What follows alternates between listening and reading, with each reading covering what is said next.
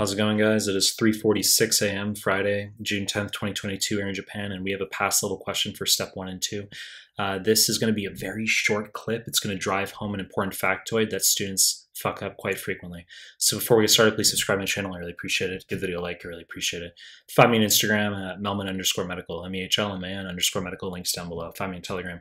Links to Telegram group and channel are down below. Now start the clip. 54-year-old woman, two-week history of increased thirst urination, 12-pound weight loss during this time. She has hypertension, hypercholesterolemia. BMI is 35. Question wants to know what's most likely to be seen in this patient.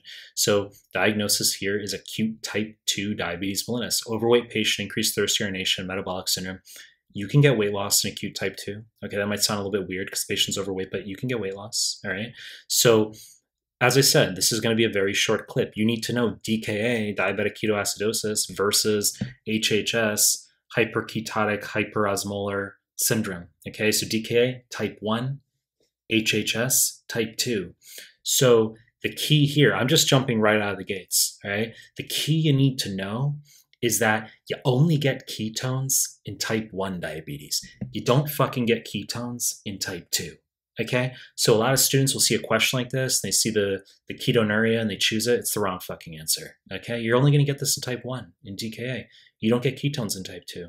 And the reason you don't get ketones in type 2 is because there is not an insulin deficiency in type 2 diabetes mellitus. We have insulin resistance. Now, patients, of course, can go on to ultimately get pancreatic burnout and insulin deficiency, but initially in type 2, we have high insulin levels. The answer here is hyperinsulinemia. We have insulin resistance we have hypertrophy of the beta islet cells. And I've actually seen that as a separate answer for an NBME question. We have hypertrophy of the beta islet cells, hyperinsulinemia.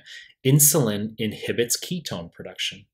Okay, so insulin will stimulate fatty acid synthesis, and we can get malonyl CoA that shuts off the carnitine shuttle, which is required for bringing fatty acids from the cytosol into the mitochondria for beta oxidation, which will you're going to be cleaving off acetyl CoAs, which you put two acetyl CoAs together, and you're ultimately going to get your ketogenesis. Okay, so if we have insulin, we can't get ketogenesis. That's why we have fairly absent, absent or minimal ketones in HHS.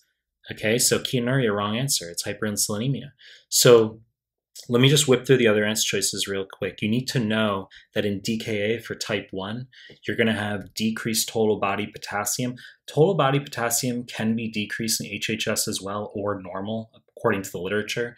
Uh, serum pH is going to be under 7.30 in DKA, normal range 7.35 to 4.5, but the liter- we're talking the literature, uh, just low pH in DKA, HHS, it can be normal. And serum glu- glucose is often greater than 600 in HHS. It's often greater than 250 in DKA. Don't worry for USMLE. I'm just whipping through why the other answers are wrong here. And bicarbonate, uh, usually under 18 in DKA, normal range 22 to 28, and it's greater than 18 in HHS. So look, once again, just recapitulating, you don't get fucking ketones in type 2 diabetes mellitus okay? You get ketones only in type 1.